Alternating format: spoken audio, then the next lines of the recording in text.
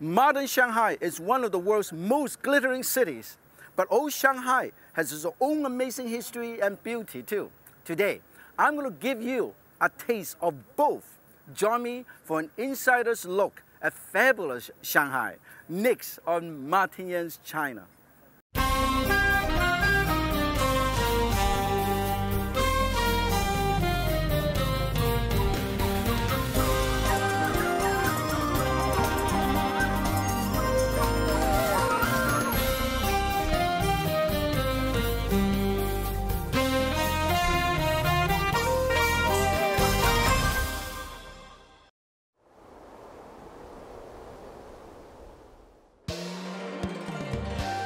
This is modern Shanghai, the towering skyscrapers of the new Pudong area.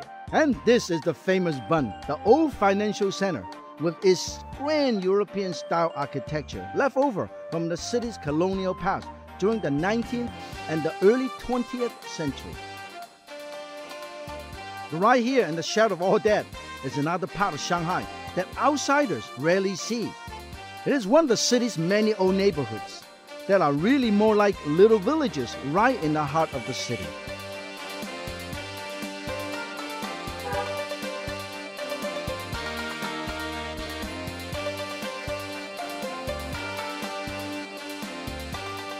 Shanghai is old, and Shanghai is new, and Shanghai is modern and also very traditional. Shanghai is a city of contrast. 啊，徐大姐你好，你好，你好，你好。This is Mrs. She, my good friend. Every time I come to Shanghai, I come and visit her. 啊，徐大姐，你们在住在这里附近呢，这环境不错啊。对。啊，住了住了很多年了吧？很多年了。哇，哎，Mrs. She has been living here for many many years. Look at that. You know, they wash. Look, you can tell from the from the washboard. You can tell from the washboard. This is very very old. She's been using for many many years. Truly antique, of course. This is more antique than her, and she's going to show us around. You know, she's retired. And then every morning she go to do exercise, Tai Chi. Mrs. Xu told me, the people have been living here for many, many years. This is an old neighborhood. People actually, it's a living quarter for many, many people. Look at the building, uh, since 1920s. Hey, look at the mailbox. Mrs. Xu's mailbox is full. The mailbox, her mailbox is full. She lives around here, Changlilu, 27 er Wow, this is where she lives. This is the address in Chinese. 这里块已经很好的啊，我们这里蔬菜、稻米呀，都在这里种的。Oh, they said living here is very comfortable because 很好的。Yeah, very quiet and people are very nice and friendly. 很多很多年，very many many years, and people actually do all the prepping, all the prepping right here. Look at that. Hey, look at this. She, this is her stuff. Now, you know, you wash all your stuff here, huh? Wash all your stuff here, and then you cut all your stuff here, huh? Huh? Cut all your stuff here. Now, this is one thing. Look at this. Uh, I'm going to help her out a little bit. See, see. So big, huh? Yeah, yeah, yeah, yeah. In the neighborhood, you can shop, you can have your hair cut, you can have a little, a little coffee, and everybody, all the people. Good neighborhood. This neighborhood power. Oh, this is Has to be heavy. Is that has to be heavy? You know, a lot of people don't realize orange is a symbol of good fortune. It's because in the color, in the color of gold. I told you this is a city of contrast. Well, it is time for another one. From Mrs. Xu's humble kitchen to the professional restaurant kitchen of another great cook. Both women, both here in old Shanghai. This is the old Shanghai restaurant and the name is no exaggeration. It has been here for more than 130 years. I put on my chef jacket to learn from the restaurant's master chef. She has been working here for 27 years. With me is Chef, Master Chef Tang Hongfang, 厨师长. Today, she's going to show us how she turns three main ingredients into a beautiful, elegant presentation. I call Chef Tang the shredder because her signature, braised three shreds, is all about her masterful shredding technique. There will be three different ingredients ham, bamboo shoot, and chicken breast. This is a famous ham from this area. You cut into very thin slices. One, one group. And then you put it in this little cup. There's a mushroom inside. You cover this with the mushroom right in the middle. And then you line them up. Thinly sliced bamboo shoot. You slice from the top so you can control the thickness. Look at how thin this is. And then once again, thinly slice. Total concentration, very important. A lot of skill. And then you put the bamboo shoot in between the ham. Finally, shredded chicken breast. By the time she finished cutting this, added all together will be 1,999 slices. Almost 2,000 slices. This is the measure of your skill. Inside there, there's a hole. You got to fill it up. Fill it up with pork. The pork lightly pink, also thinly shredded. More bamboo shoot. And then you mix this together. You see, mix them all up. You fill it up like this. You press it, fold it in. The chicken breast is cooked, the ham is cooked, and the bamboo shoot is ready to eat. So you only have to steam it for approximately 10 minutes. Let's take it over there and steam it for 10 minutes. Ah, you steam for 蒸了多久了？啊，all you have to do is steam for about 10 to 15 minutes. Now look at this, look at this. Put it upside down. And then put the soup right here. Ah. Hold on to the wok. Use a chopstick. Push the mushroom down. Ah, success. Mmm, look at this magnificent, delicious banquet. It represents the new and the old of Chinese cuisine. Some of these are traditional dishes. This is a very old freshwater shrimp, poached in oil, very lightly seasoned, braised tofu with crab roe. Ah, this is eight precious duck. Very, very nice. This is a very, very new dish, definitely. Steam, three shredded, ham, bamboo shoot, and chicken. And in a nice clear broth. This is very light and very healthy. Now let's dig in and try. Hmm. 嗯，这个汤，这个是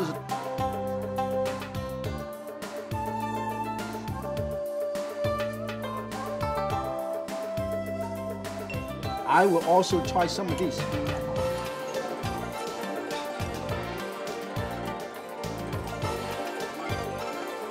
If you love Shanghainese cuisine, this is the place you have to come.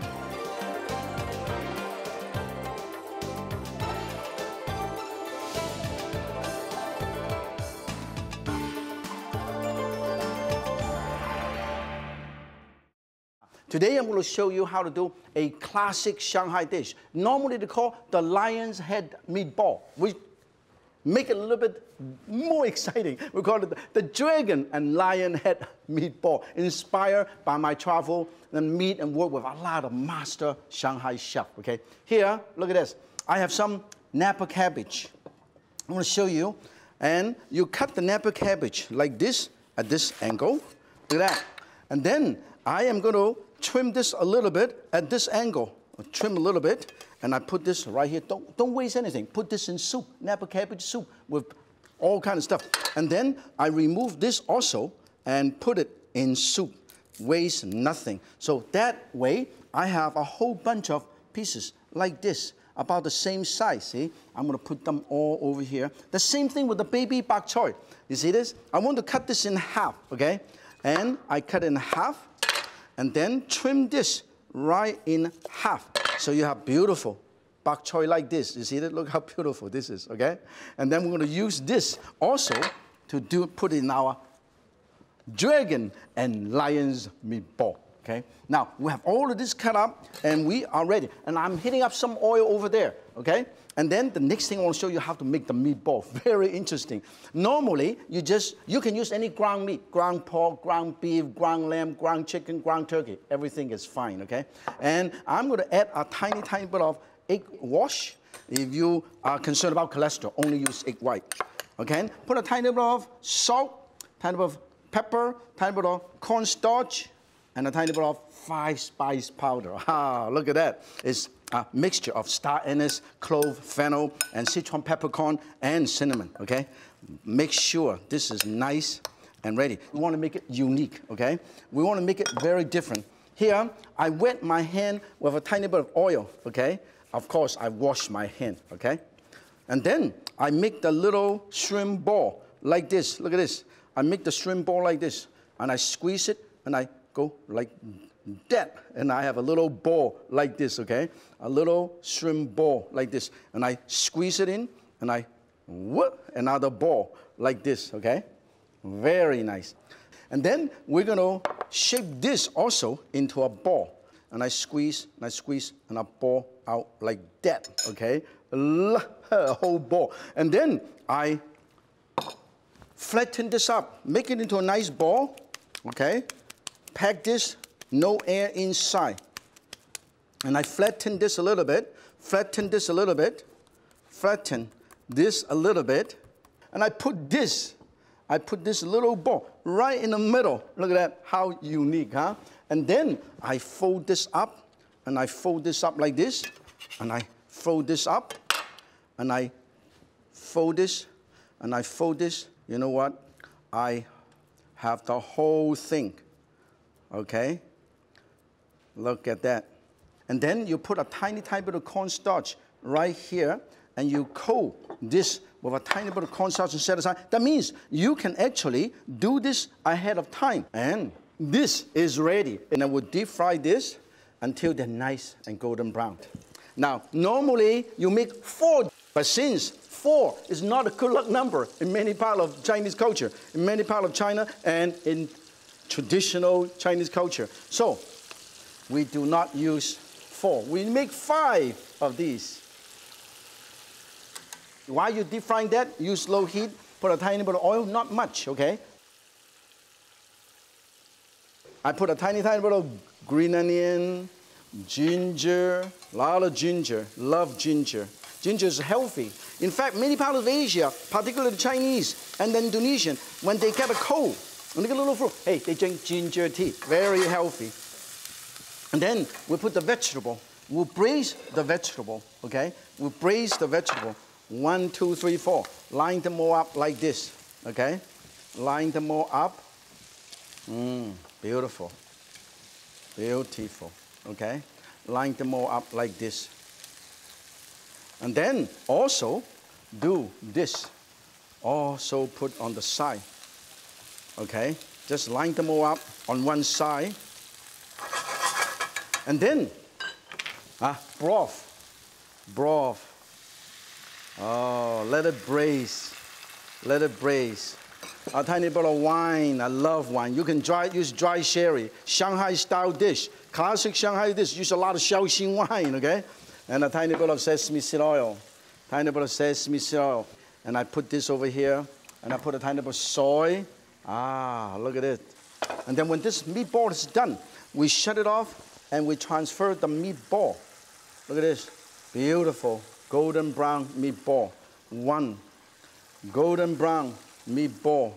Two, okay? And golden brown meatball. And we just let it, ah, look at this, beautiful. We just kind of let it braise. Next, the new face of Shanghai. This is Shanghai one of the most dynamic cities in the world. And if you want to get a real taste of what makes this place so special, you have to try the local food, especially the world famous Shanghai juicy dumplings. Ah, almost here, almost here. Rain or shine, always a line. This is the Nanxiang Xiaolongbao. This is the famous Shanghai juicy dumpling. There's always a long line. Ah, almost my turn. It looks like the order I have placed is ready. So I'm going to take you into the kitchen and check it out, okay? Look at this mass production by hand, not by machine. Mmm, ground meat and some crab meat and crab roe and all kind of seasoning. And then pleat it, pleat it, pleat it. Mmm, another one. Fill it in, pleat, pull and pleat and pull, and your left thumb push the filling inside. Hey, not bad, huh? This one I make I've been around, hanging around here for about 25 minutes, and they make about 25, and I make approximately one or two. But it's not bad, huh? Now, all this little treasures need is a quick steam bath. Hey, this is behind the scene. Look at that. Chinese fast food, they steam all of those over here. They steam all the stuff in this bamboo steamer here. This is already made. It's going to be steamed. Steamy hot. 12 of them in one basket. This is the original Chinese fast food, okay? This is the one that I just prepared. A tiny bit of uh, local dark vinegar. And I'm going to buy into this and check it out to see whether I did a good job. Hmm?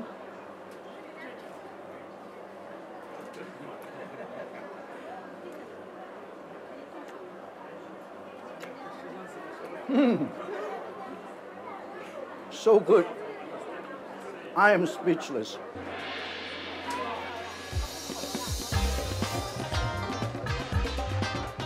And that's only half the story of Shanghai, the classic side.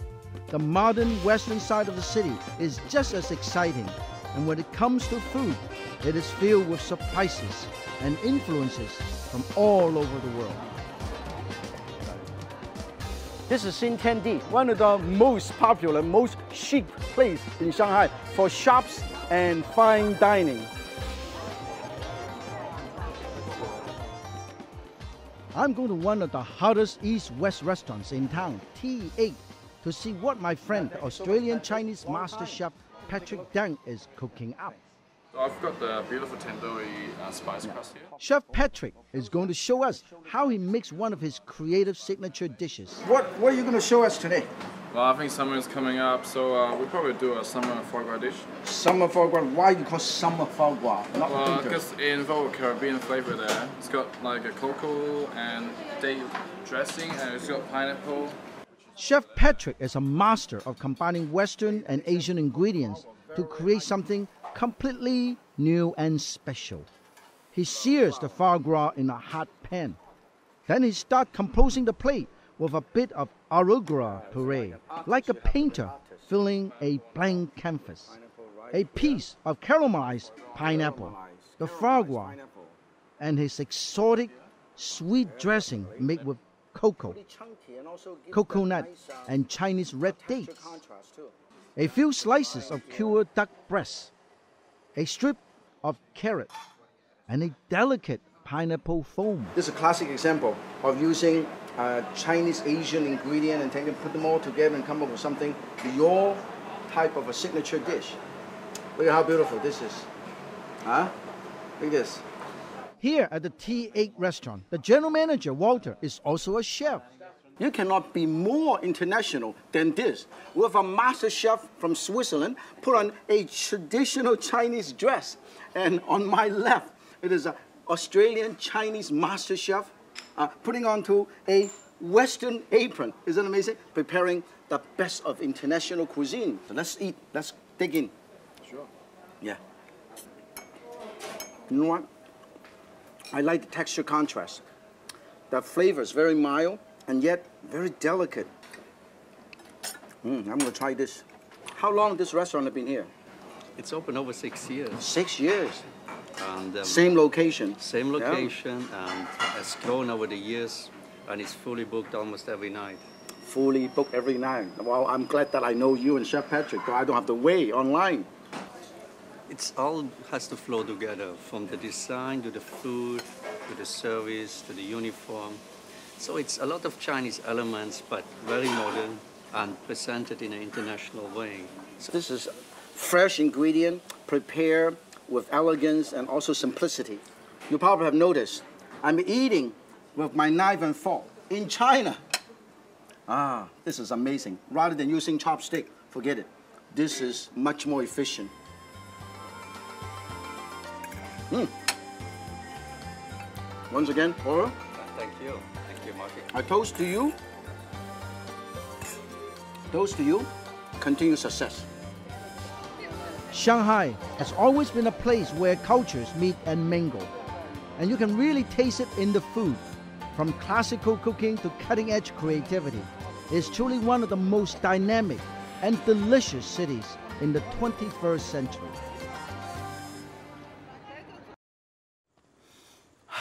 I can smell the Shaoxing wine mm, vapor, aroma. I think it's almost ready.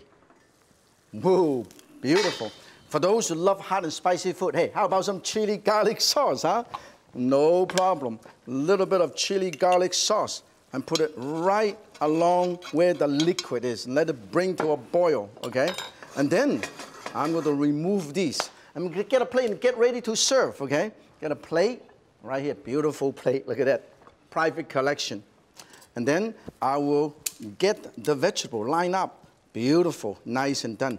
Line up the vegetable, line them all up, line up the vegetable, beautiful. This is amazingly sweet and crunchy. You don't want to overcook the Napa cabbage, okay? This is gonna be really good, okay? And then, last piece. Then what you do is, you line them all up, line them all up, line them all up, and then you line up this on the side, okay? The baby bok choy, line it on the side. This is gonna be good on the side, okay? Oh, very nice. Just enough to line up everything. Beautiful. Okay? And then I put the meatball right around here. Look at this. This is the dragon and lion meatball. Look at that. When this is done, I'll put it over here and I thicken the sauce and really, really huh, thicken the sauce a little bit with a tiny bit of cornstarch. Mm. See, you don't want to waste this. This is really flavorful, okay? Just the right consistency, the right sauce is all you need. Mm. Beautiful. Look at that. And make sure, get a, get a ladle, a big spoon.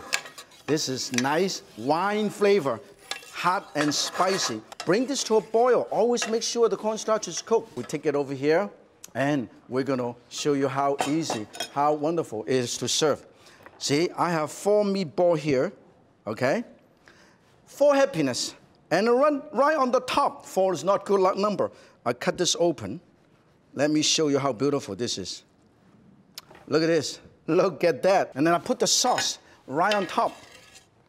Mmm.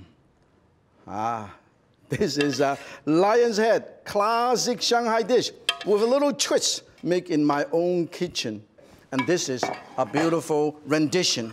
And then I put a couple of this deep fried wonton on one side and a couple of this chili on the other side. And everybody can enjoy. Put a tiny bit of sesame seed. And this is all you need. The dish is done. Look at that. Hey, dragon and lion meatball, Shanghai style. If Yan can cook Shanghai style, so can you. And Jian.